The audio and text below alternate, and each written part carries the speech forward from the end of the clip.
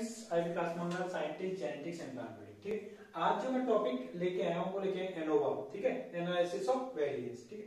तो देखो जो जेनेटिक्स एंड प्लांट वाले स्टूडेंट है, उनके लिए जो स्टैटिस्टिक्स है, वो बहुत इंपॉर्टेंट है, क्योंकि एआरएस में भी पूरी यूनिट अलग से इसके अलावा जीआरएफ एसआरएफ में भी क्वेश्चन आते हैं, ठीक है? तो एनोवा को हम बिल्कुल डीप में तो नहीं देखेंगे मैथमेटिक्स टर्म में, क्योंकि इतना तो मुझे भी नहीं आता। जितना एग्रोनॉमी या ब्रीडिंग के स्टूडेंट के लिए जनरल जो कंसेप्ट है, जो आना चाहिए, जो थीसिस के लिए आना चाहिए, कहीं भी आपको इंटरव्यू फेस करना है, ये छोटे छोटे जो क्वेश्चन के लिए फंडामेंटल के लिए वो आना चाहिए, उसकी हम बात करेंगे, ठीक है? अब देखो, यदि मैं एनोवा को डिवाइड करूँ, ठीक है तो एनोवा का मतलब क्या हुआ? पहला एनो मतलब कि एनालिसिस ठीक है? और किसकी? बी मतलब वेरिएंस ठीक है? तो एनालिसिस ऑफ़ वेरिएंस ये आपका क्या हुआ? एन हुआ हुआ, ठीक है? तो वेरिएंस जो टर्म है वो बहुत ज़्यादा इंपॉर्टेंट है। क्यों? क्योंकि जो वेरिएंस टर्म है, यही बताता है कि जो आपके पास मान लो कोई पॉपुलेशन है उसने आपने उससे अलग अलग सैंपल लिए वन टू थ्री ठीक है? इन सबका अलग मीन है X one X two bar X three bar और पॉपुलेशन का मीन क्या है? एक्स बार ठीक है ना? तो जो आपके सैंपल मीन है, उनका पॉपुलेशन जो मीन है, उससे जो डिफरेंस कितना है, उसका स्क्वायर निकाल के वेरिएशन निकालते हैं, जो बताता है कि वेरिएबिलिटी कितना है मीजर ऑफ़ डिस्पर्जन ये सारी चीज़ें बताता है, ये ये क्या वेरिएंस है, ठीक? वेरिएंस आपका क्या होता है? जो स्टैंडर्ड डेविएशन जो निकालते हैं स्टैंडर्ड डेविएशन ठीक है? सिग्मा जो उसका स्क्वायर ही क्या होता है? वेरिएंस होता है, ठीक है? या सिग्मा स्क्वायर या एस स्क्वायर सिग्मा स्क्वायर हम यूज़ करते हैं किसके लिए? पॉपुलेशन के लिए। और जो एस स्क्वायर वो यूज़ करते हैं सैंपल के लिए, ठीक तो वेरिएंस बहुत इंपॉर्टेंट है। तो इसका मतलब कि उसकी एनालिसिस कर रहा है क्या? एनोवा ठीक है? तो एनालिसिस ऑफ़ वेरिएंस इसलिए इसकी क्या है? फुल फॉर्म है। ठीक है ना? अब देखो, एक चीज़ कि एनोवा के आने से पहले ऐसा तो नहीं था कि कोई भी चीज़ नहीं थी जो कि एनालिसिस के लिए बहुत ज़रूरी था। तो हमारे पास थे, ठीक है? क्या थे? हमारे पास देखो टी टेस्ट था। ठीक है? हमारे पास क्या था? एफ़ टेस्ट और सॉरी अभी हम बात करेंगे जेड टेस्ट ठीक है? और एनोवा ने हमें क्या दिया? हमें दिया एफ़ टेस्ट एनोवा ने हमें दिया एफ़ टेस्ट ठीक? अब देखो एक चीज़, कि जो टी टेस्ट था और जेड टेस्ट था, देखो, जो एनोवा था, उसको दिया था फिसर ने 1918 में 1920 में, ठीक है? उसके बाद जो फिसर ने 1925 में अपनी बुक पब्लिश की थी, उसके बाद ये एनोवा कंसेप्ट बहुत ज़्यादा यूज़ हो गया था, ठीक? उससे पहले आपके क्या यूज़ होते थे? टी टेस्ट यूज़ होते थे जेड टेस्ट यूज़ होते थे, ठीक? बेसिक डिफरेंस आपका ये है कि टी टेस्ट जो होता है वो लेस देन थर्टी सैंपल के लिए होता है और जेड टेस्ट होता है वो थर्टी से ज़्यादा सैंपल के लिए होता है, ठीक? लेकिन इनमें दिक्कत क्या आती है टी टेस्ट और जेड टेस्ट में ये था कि ये आपके दो ही पॉपुलेशन के लिए यूज़ हो रहे थे। मतलब जैसे आपके पास बीट की मान लो एक वेरायटी है एक्स वन एक है एक्स टू तो इन दो में से आप कितने भी सैंपल लो थर्टी से कम ले रहे हो तो टी टेस्ट लगाते थे और थर्टी से ज़्यादा ले रहे हो तो जेड लगाते थे। लेकिन आपके पास मान लो दो या दो से ज़्यादा वेरायटी हो गई, आपके पास तीसरी वेरायटी आ गई, आपके पास चौथी वेरायटी आ गई तब इनके बीच में आपको पता लगाना है, तब आपका टी टेस्ट जेड टेस्ट काम नहीं आ रहा, तब आप क्या यूज़ कर रहे हो? एफ़ टेस्ट यूज़ कर रहे हो। मतलब दो या दो से ज़्यादा पॉपुलेशन है, उनके मीन को या सिग्निफिकेंट डिफरेंस इन चीज़ों को चेक करने के लिए हम क्या यूज़ कर रहे हैं? एनओवा यूज़ कर रहे हैं, ठीक है ना? तो ये आपका, ठीक है? ये कंसेप्ट है कि कैसे कंसेप्ट ओरिजिनेट हुआ ये सारी चीज़ें आपको आनी चाहिए, ठीक है? अब देखो हम बात करेंगे। अब देखो जो एक्चुअली एनोवा है, वो एनोवा करता क्या है? देखो, जैसे मान लो, मैं आपको चीज़ कंसेप्ट एग्जांपल देता हूँ कि आपके पास वीट है, ठीक है? और वीट की आपके पास क्या है? अलग अलग वेरायटी है। जैसे मैं आपके कहूँ कि आपके पास दस वेरायटी है की, ठीक है? दस की पाँच वेरायटी है। X one X two X three X four और एक्स फाइव ये आपके पास क्या है? वीट की पाँच वेरायटी ठीक? अब आपने क्या किया? इन वीट की पाँच वेरायटियों को अलग अलग से मतलब पाँच वेरायटियों को दस प्लॉट में ग्रो किया, जो कि सिमिलर शेप के और सिमिलर साइज़ के, ठीक है ना? हमने, मान लो, दस प्लॉट लगा लिए यहाँ पे, जिसमें आपने इनको ग्रो किया, ठीक है? ये आपके पास क्या है? दस प्लॉट हो गए, ठीक है? अब हमने क्या किया? वेरायटी अलग अलग ली, और लेकिन जो प्लॉट है, वो सिमिलर शेप सिमिलर साइज़ सब उसके ठीक है? अब हमने क्या हुआ? ईल्ड देखी तो मान लो इसकी आई दस क्विंटल इसकी बारह क्विंटल इसकी आठ क्विंटल इसकी सोलह क्विंटल इसकी सत्रह क्विंटल, ऐसे करके ईल्ड आई ठीक है? अब जो ईल्ड में, अब हमने आपसे क्वेश्चन पूछा कि भाई, जो ईल्ड में जो वेरिएशन आ रही है जो सोर्स ऑफ़ वेरिएशन आ रही है वो क्यों ये अलग अलग क्यों आ रही है? तो आप सीधा आंसर दे सकते हो कि भाई, यहाँ पर जो वीट की जो हमने वेरायटी ली थी, वो अलग अलग थी, ठीक है? तो मैंने इनको मान रहा हूँ ट्रीटमेंट है कि जो ट्रीटमेंट है उनके डिफरेंस के कारण आई। तो इसका मतलब कि कोई भी पॉपुलेशन है, उसमें जो वेरिएशन आती है, उसका एक रीजन क्या हो सकता है कि भाई आपके ट्रीटमेंट ही अलग थे वेरायटी अलग थी, एक रीजन दूसरा, अब मैं आपसे कहूँ, मान लो कि मैंने एक ही वेरायटी ली, मैंने बीट की एक ही वैरायटी ली और इन सारे जो प्लॉट्स हैं, जो कि सिमिलर सेप साइज़ के, उनमें मैंने ग्रो करी, ठीक है? उसके बावजूद भी सेम ये डिफरेंस आ रहा है आपका। मतलब सोर्स ऑफ़ वेरिएशन आपका सेम डिफरेंस आ रहा है। तब मैं आपसे यदि क्वेश्चन पूछूँ कि अब रीजन क्या है तो आप ये तो नहीं कह सकते कि वेराइटी है। इसका मतलब दूसरा रीजन है। सोर्स ऑफ़ वेरिएशन का क्या है? दूसरा रीजन है कोई।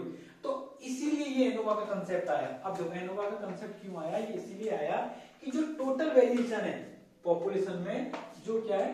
टोटल वेरिएशन है, उसको डिवाइड कर देता दो चीज़ों में। एक तो variation due to assignable causes variation due to assignable causes plus variation due to non assignable causes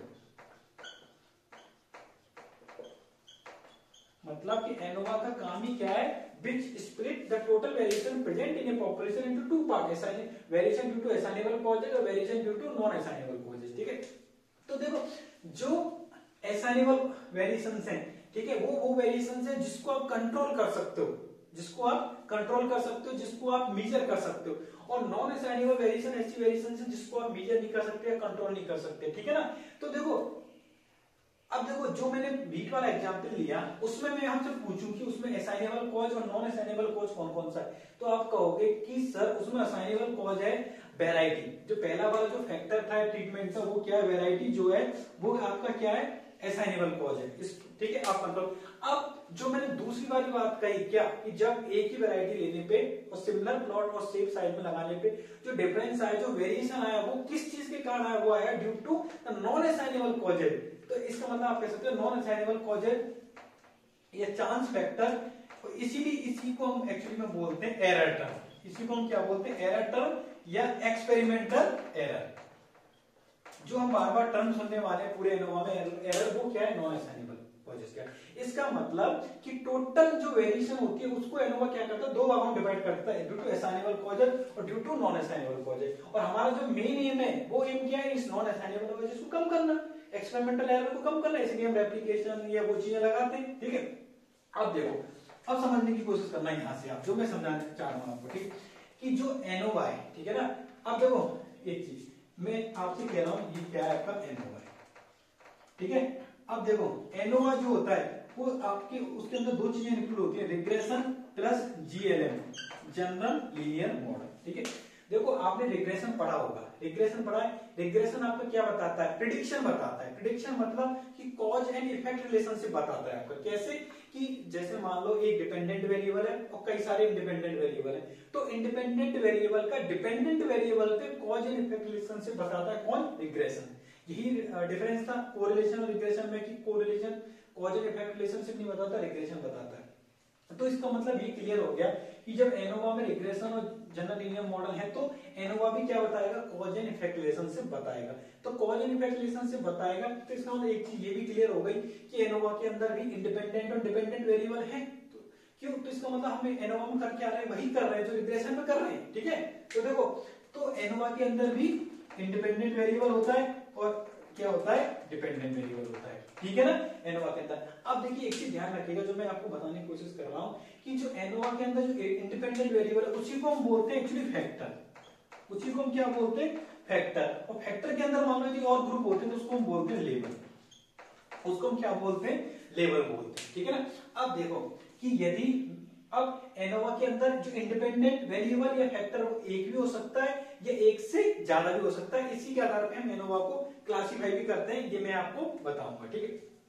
अब देखो, यहाँ से एक चीज़ समझने की कोशिश करना कि जो एनोवा टोटल वेरिएशन को दो पार्ट में डिवाइड कर रहा था, जो एसाइनेबल जो वेरिएशन है, वो किसके कारण आती है? एक्चुअली जो ये फैक्टर है, ये ट्रीटमेंट इसी के कारण ये एसाइनेबल यही जो एक्चुअली इंडिपेंडेंट वेरिएबल है, जो हम फैक्टर बोलते हैं, यही जो वेरिएशन क्रिएट करता है, वही क्या है? एसाइनेबल वेरिएशन है। ठीक है ना? अब देखो हम क्या कर रहे हैं कि जो इंडिपेंडेंट वेरिएबल का, उसको डिपेंडेंट पे उसकी स्टडी कर रहे हैं, यही आपका क्या है रिग्रेशन है। तो रिग्रेशन वाली चीज़ आपको क्लियर हो गई, ठीक है? रिग्रेशन वाली चीज़ आपको क्या हुई? क्लियर हो गई। अब देखो, दूसरी चीज़ क्या है? जीएलएम मतलब कि ANOVA it is based on the general general linear model ठीक है? तो देखो आप जब एनोवा की जब एनालिसिस करते हैं, कोई भी सॉफ्टवेयर से एसपीएस से आईएसआर आई या ओपी स्टेट से, आपने देखा होगा कि जब आप डाटा फिट करते हैं तो बीच में एक स्टेप आता है वहाँ पूछता है कि आप किस मेथड से करना चाहेंगे मॉडल फ़र्स्ट या फिक्स इफ़ेक्ट मॉडल सेकंड है रैंडम मॉडल से, या मिक्स मॉडल से। तो आपने देखा होगा, वहाँ पे हम अधिकतर फिक्स मॉडल पे क्लिक करते हैं। तो वो पता किसके अंदर आता है? जो जनरल लीनियर मॉडल है, वो तीन चीज़ों में होता है। एक तो होता है आपका फिक्स इफ़ेक्ट मॉडल एक आपका होता है रैंडम इफ़ेक्ट मॉडल एक आपका होता है कौन सा? मिक्स ठीक है? तो देखो फिक्स इसलिए हम क्यों बोल रहे हैं इसको? क्योंकि मुझे ज़्यादा इंफॉर्मेशन नहीं है इनकी लेकिन बेसिक बेसिक बता रहा हूँ। फिक्स इसलिए बोलते हैं क्योंकि इसमें ट्रीटमेंट फिक्स है। ठीक है? रैंडम इसलिए बोलते हैं क्योंकि ट्रीटमेंट फिक्स नहीं है। ट्रीटमेंट मतलब फैक्टर और मिक्स जो कि फिक्स और रैंडम दोनों को यूज़ करता है। ठीक है? तो देखो, एक चीज़ ध्यान रखिएगा, जो फिक्स मॉडल है, उसी का नाम है मॉडल फ़र्स्ट उसका नाम क्या है? मॉडल फ़र्स्ट जो सेकंड है रैंडम उसी का नाम क्या है? मॉडल सेकंड ठीक है? और जो मिक्स है उसी का नाम क्या है? मॉडल ये याद रखिएगा ठीक है ना? ये आपके हो गए बेसिक इंफॉर्मेशन ठीक है? देखो यहीं पे मैं आपको एक चीज़ बता देता हूँ कि जो मैंने आपको इंडिपेंडेंट वेरिएबल की बात की ठीक है? कि आ, उसी को हम क्या बोलते हैं? फैक्टर बोलते हैं। उसी को हम क्या बोलते हैं? फैक्टर बोलते हैं किसमें? एनोवा में। अब देखिए जो एनोवा होता है ना उसको हम अलग अलग पार्ट में डिवाइड करते हैं ठीक है ना? On the basis of number of factor मान लो कि यदि एक फैक्टर है, एक इंडिपेंडेंट वेरिएबल है तो उसे बोलते हैं हम एनोवा का वन वे क्लासिफिकेशन उसे क्या बोलते हैं? वन वे क्लासिफिकेशन ठीक है वन वे क्लासिफिकेशन तो इसका मतलब ये हो गया कि यदि मैं आपसे पूछूँ कि भाई वन वे क्लासिफिकेशन में टोटल सोर्स ऑफ़ वेरिएशन कितनी होंगी तो आप कहोगे दो। कौन सी? एक due to one independent one factor के कारण, और दूसरी या ट्रीटमेंट के कारण, वो तीनों चीज़ें एक ही। और दूसरी नॉन असाइनेबल और एरर के कारण, दो सोर्स ऑफ़ वेरिएशन होंगी, ठीक अब मान लो कि फैक्टर या इंडिपेंडेंट वेरिएबल दो हैं तो उससे बोलते हैं टू वे क्लासिफिकेशन जैसे देखो, आपका जो सीआरडी है कंप्लीट इंटरमल डिवीज़न वो वन वे में आता है, बाकी के कौन से आते हैं? टू वे में आते हैं। और दो से ज़्यादा फैक्टर है तो उसे बोलते हैं मल्टी वे क्लासिफिकेशन ठीक है? देखो, अब मैं यदि आपसे चीज़ पूछूँ कि जो टू वे क्लासिफिकेशन है एनोवा का, उसमें सोर्स ऑफ़ वेरिएशन कितनी होगी? तो तीन हो जाएँगे इसमें सोर्स ऑफ़ वेरिएशन दो ट्रीटमेंट्स के कारण और एक एरर के कारण। ठीक है ना? ये चीज़ याद रखिएगा। अब देखो कि हमें एनोवा को किसी पॉपुलेशन पे लगाना है, ठीक है? तो पॉपुलेशन पे लगाने के लिए कुछ एजम्पन्स होते हैं। जैसे मान लो कि आप कहो, देखो, आपको किसी को अपना फ्रेंड बनाना है तो आप उसके अंदर कुछ क्वालिटी देखते हो। कि भाई आ, उसके अंदर ये क्वालिटी होनी चाहिए वही हमारा फ्रेंड बन सकता है। तो ऐसे एनोवा को लगाने के लिए कुछ एजम्पन्स होते हैं ठीक है ना?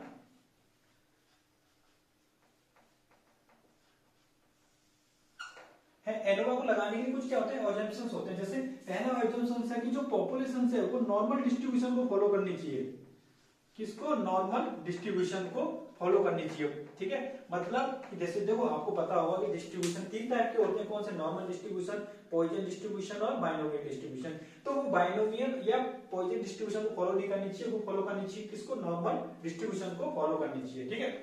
तो देखो, एक कंडीशन होती है कि कोई भी पॉपुलेशन नॉर्मल डिस्ट्रीब्यूशन को कब फॉलो करेगी? तो वो फॉलो करने की कंडीशन होती है कि जो उसके अंदर स्क्यूनेस है। ठीक है ना? स्क्यूनेस है, वो आपकी कितनी होनी चाहिए? वो ज़ीरो होनी चाहिए। और जो कार्टोसिस है कार्टोसिस है, वो कार्टोसिस कितनी होनी चाहिए थ्री होनी चाहिए। तो ऐसी पॉपुलेशन किसको फॉलो करेगी नॉर्मल डिस्ट्रीब्यूशन ठीक है? अब देखो, जब हम एमएससी थीसिस करते हैं, मान लो कि हम नंबर ऑफ़ सूट फ्लाई का डाटा ले रहे हैं, सौ रुपए। तो आपने देखा होगा परसेंटेज में जैसे आता है, मान लो twenty four point five percentage आ गया थर्टी पॉइंट सिक्स परसेंटेज आ गया। तो देखो, ये जो डाटा होता है, वो जनरली फॉलो करता है बायोनोमियल या पॉइजन डिस्ट्रीब्यूशन को, ठीक है? हमें इस डाटा को किसमें चेंज करना होता है? नॉर्मल डिस्ट्रीब्यूशन में चेंज करना होता है। तो यहाँ पे हम यूज़ करते हैं ट्रांसफॉर्मेशन ऐसे डाटा को नॉर्मल डिस्ट्रीब्यूशन में यूज़ करने के लिए हम क्या यूज़ करते हैं? ट्रांसफॉर्मेशन यूज़ करते हैं, ठीक है ना? ट्रांसफॉर्मेशन यूज़ करते हैं। अब देखो ट्रांसफॉर्मेशन कई टाइप का होता है, वो डिपेंड करता है कि आपका डाटा कैसा है। ट्रांसफॉर्मेशन होता है स्क्वायर रूट ट्रांसफॉर्मेशन ट्रांसफॉर्म होता है आर्क साइन ट्रांसफॉर्मेशन तो कई टाइप के ट्रांसफॉर्मेशन होते हैं। तो हमारा पहला एजम्पशन क्या हुआ कि जो हमारा वो है पॉपुलेशन वो किसको फॉलो करनी चाहिए? नॉर्मल डिस्ट्रीब्यूशन पहली चीज़ आपकी क्लियर हो गई, ठीक है?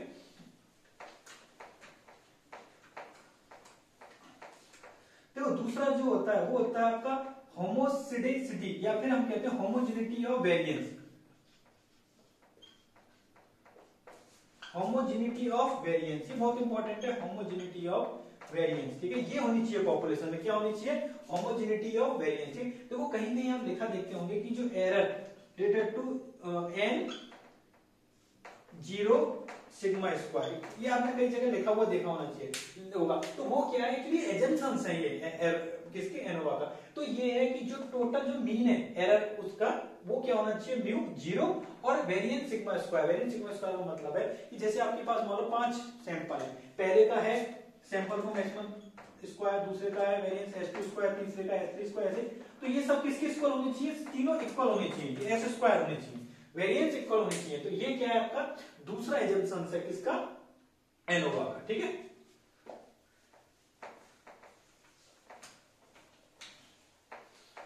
ठीक है अब देखो, तीसरा एजम्पन क्या है आपका? तीसरा एजम्पन है आपका इंडिपेंडेंट ऑब्जर्वेशन ठीक है? थोड़ा सा मार्कर अच्छे से नहीं चल रहा है, ठीक है? इंडिपेंडेंट ऑब्जर्वेशन ठीक है? इंडिपेंडेंट ऑब्जर्वेशन का मतलब ये होता है कि जो आप ऑब्जर्वेशन ले रहे हो कि कोई भी एक ऑब्जर्वेशन दूसरे ऑब्जर्वेशन पे डिपेंड नहीं होनी चाहिए। ऑब्जर्वेशन क्या होनी चाहिए? इंडिपेंडेंट होनी चाहिए। तो ऑब्जर्वेशन इंडिपेंडेंट का सबसे अच्छा तरीका क्या होता है? आपका रैंडम सैंपलिंग करते हो रैंडम डिस्ट्रीब्यूशन ये चीज़ें किसके आती है? इंडिपेंडेंट तो आपके तीन मेन हो गए homogeneity of variance it should be follow normal distribution and the independent observation ये आपके क्या है? एनोवा के एजम्पशंस हैं। ठीक है? इनको याद रखिएगा।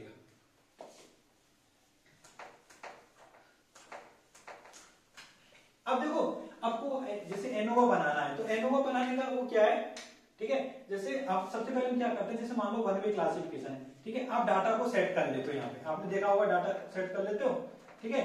जैसे आपके मान लो ट्रीटमेंट है भाई जो भी आपके ऑब्जर्वेशन है तो आप ऐसे Y one one Y one two ऐसे करके आप वो कर लेते हो, ठीक है?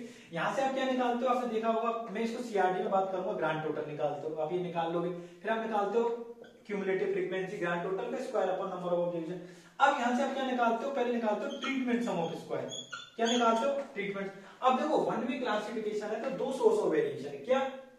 ट्रीटमेंट और एरर ठीक है? ट्रीटमेंट सम ऑफ़ स्क्वायर फिर आप निकालते हो TSS total sum of square निकालते हो। फिर मेन जो अपना क्या एरर तो एरर कैसे निकालते हो? टोटल में से। क्या घटा दो? ट्रीटमेंट घटा दो तो वो आपका क्या आ जाता है? एरर वाला टर्म आ जाता है। ये पहले सारी चीज़ निकाल ले तो ये वन वे के लिए टू वे के लिए आपका एक एक चीज़ और एक्स्ट्रा आ जाएगी। तो आप टोटल सम ऑफ़ स्क्वायर में ट्रीटमेंट सम ऑफ़ स्क्वायर या फिर जैसे रेप्लीकेशन है तो block sum of square minus कर दोगे तो एरर सम ऑफ़ स्क्वायर आ जाएगी। तो यहाँ पे जो ऑब्जर्वेशन आते हैं, इन ऑब्जर्वेशन से हम क्या बनाते हैं? एनोवा बनाते हैं। उस एनोवा से हमें किसी इन्फॉर्मेशन मिलने वाली है? एफ़ टेस्ट की, ठीक है?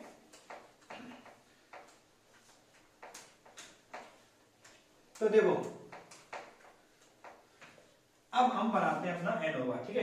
तो एनोवा देखो, हमें, हमने क्या कहा कि एनोवा एक्चुअली करता क्या है? ये आपका सोर्स ऑफ़ वेरिएशन को अलग अलग कंपोनेंट में डिवाइड कर रहा है। ठीक है ना? टोटल वेरिएशन जो पॉपुलेशन में वो किसके कारण है वो उसको डिवाइड करना है। तो सबसे पहला पॉइंट क्या होगा फिर?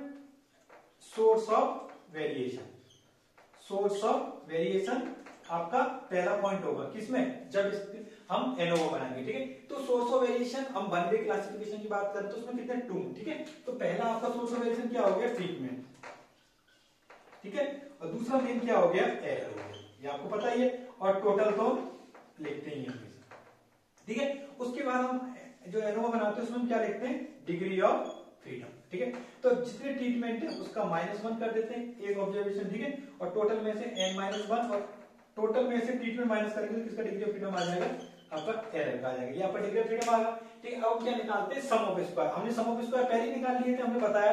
तो अब यहाँ पे इसलिए हम क्या लिख देंगे ट्रीटमेंट सम ऑफ़ स्क्वायर या एरर सम ऑफ़ स्क्वायर और यहाँ पे टोटल सम ऑफ़ स्क्वायर ठीक है ना? ये ध्यान रखिएगा सम ऑफ़ स्क्वायर अब हम क्या निकालेंगे? MSS mean sum of square अब यहाँ से इंपॉर्टेंट चीज़ आप ध्यान दें।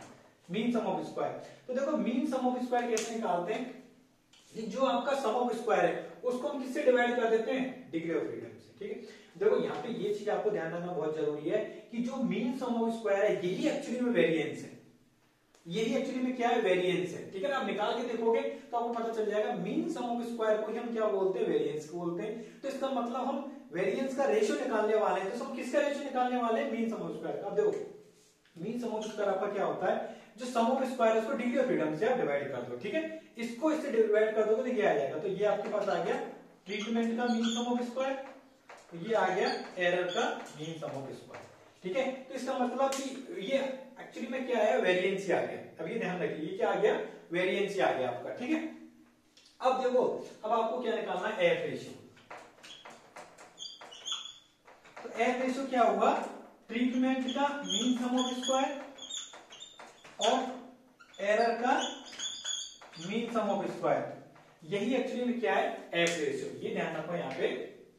एफ़ रेशियो क्या है? ट्रीटमेंट का एरर मीन सम स्क्वायर ठीक? वैसे देखो ऐसा बोलते हैं कि जो ऊपर वाली वैल्यू वो नीचे वाली वैल्यू से हमेशा ज़्यादा होनी चाहिए, क्योंकि रेशियो एक से ज़्यादा आना चाहिए। तो यदि treatment sum of square error mean sum of square से ज़्यादा है तो ये रेशियो हमने जो फॉर्मूला लगा ठीक है। यदि error mean sum of square treatment mean of sum square से ज़्यादा है तो इस फॉर्मूले को उल्टा लिखेंगे। हम क्या लिखेंगे? Error mean sum of square divided by treatment mean sum of square ठीक अब देखो, इसको भूल जाओ और इसको याद रखो। आप ये इंपॉर्टेंट है आपका एफ़ रेशियो ठीक है? इसको मैं मिटा देता हूँ। ठीक है?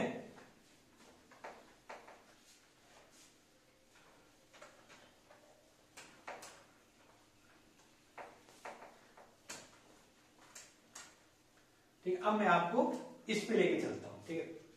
अब देखिए, जब मैं बात कर रहा था T test Z test F test की तो एफ़ टेस्ट को आपने सुना होगा, हम एफ़ टेस्ट को बोलते हैं कि it is the ratio variance मतलब एफ़ टेस्ट जो है एफ़ किसका है रेशियो लेकिन हमने मैंने आपको पहले ही बोल दिया, जो मीन सम ऑफ़ स्क्वायर है, उसी को हम क्या बोलते हैं? वेरिएंस बोलते हैं, ठीक है? तो वो एक चीज़ ध्यान रखिएगा, मैं बार बार जो एस बोल रहा हूँ sum of square sum of square क्यों बोलते हैं? क्योंकि वेरिएंस एक्चुअली में होता क्या है? जो आपका सैंपल का मीन है, उसका जो पॉपुलेशन मीन है, उससे डिस्पर्जन और उसी का जो स्क्वायर यही क्या है? सम ऑफ़ स्क्वायर इसलिए बार बार sum of square term use करते हैं, ठीक है? ये आपको क्लियर होगा अब देखो, जो मीन सम ऑफ़ स्क्वायर उसी को वेरिएंस बोलते हैं। तो इसका मतलब जो एफ़ है, वो आपका मीन सम ऑफ़ स्क्वायर या मतलब? या फिर ट्रीटमेंट का वेरिएंस अपॉन एरर का वेरिएंस उसी का रेशियो ये आपको क्लियर हो गया? ट्रीटमेंट का वेरिएंस एरर ठीक है? अब मैं आपको समझाता हूँ एक्चुअली मैं थोड़ा सा एग्जांपल देके आप इसको यदि समझने की कोशिश करेंगे, ठीक है? कैसे? ले मेरी जैसे मान लो कि आपके पास तीन पॉपुलेशन है। एक पॉपुलेशन ये, जिसका मीन है एक्स वन बार ठीक है? एक पॉपुलेशन ये, जिसका मीन है एक्स टू बार और एक पॉपुलेशन ये है, जिसका मीन क्या है? एक्स थ्री बार ठीक है, ये आपके पास तीन पॉपुलेशन है, ठीक है, जिसका पहले का मीन है X one bar X two bar X three bar ठीक है, अब क्वेश्चन यहाँ पर ये है कि these are these population coming from same population और नॉट कोई पॉपुलेशन है क्या ये उसी का पार्ट है या नहीं? ठीक है, अब हम देखते हैं यहाँ पे, जैसे मान लो हमने बना लिया ये। ठीक है? थोड़ा सा मार्क सही चल रहा है। देखो, हमने बना लिया आपका अब हमने एक सॉरी इसको हमें बनाने की ज़रूरत नहीं, साइड में। तो देखो, ये हमने बना लिया एक पॉपुलेशन जिसका कि मीन कितना है? एक्स का। तो हमारा क्वेश्चन क्या था? हमारा क्वेश्चन यही था कि ये जो तीन पॉपुलेशन है, वो क्या इसी का वो है या नहीं पार्ट ठीक है? अब देखो, इसलिए हम क्या करते हैं? जैसे मान लो, पहली पॉपुलेशन को लेके चलते हैं सैंपल की ये हमने यहाँ ले लिया। इसका था एक्स वन बार। ये जो पॉपुलेशन है, इसको हमने यहाँ ले लिया। इसका था एक्स टू बार, ठीक है? और तीसरी पॉपुलेशन को हमने ले लिया यहाँ, जिसका क्या था? X three bar. ये आप ऐसे समझ लीजिए, ठीक है?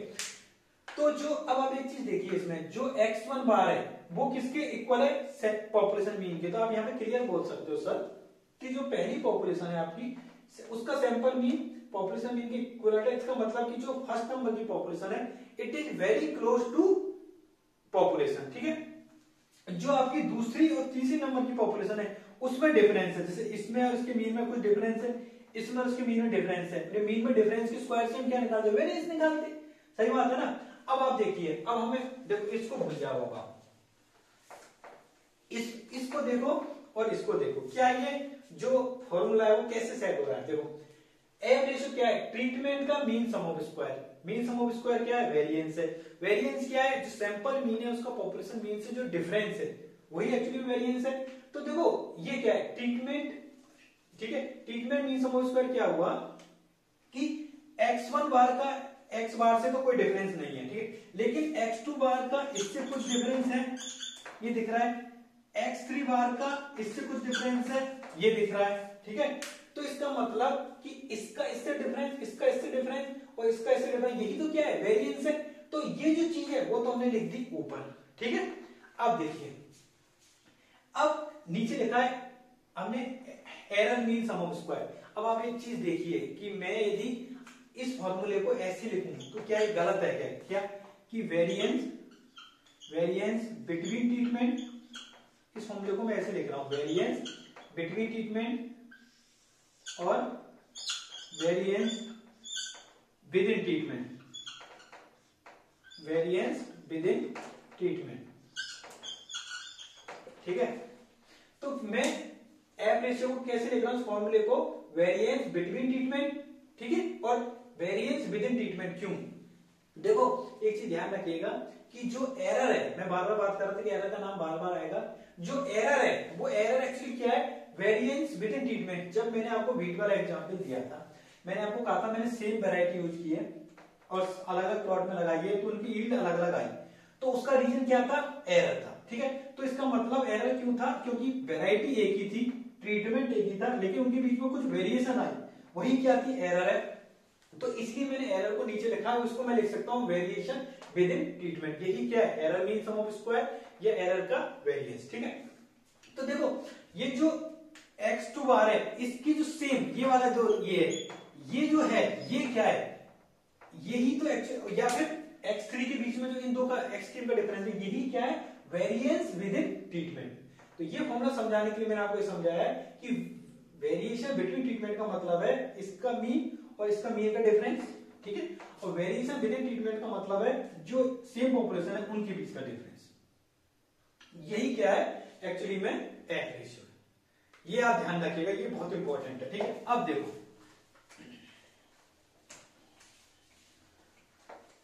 अब मैं आपको क्या समझा रहा हूँ कि ये आपने निकाल लिया एफ़ कैलकुलेटेड इससे आपका क्या आता है? एफ़ कैलकुलेटेड आता है, ठीक है?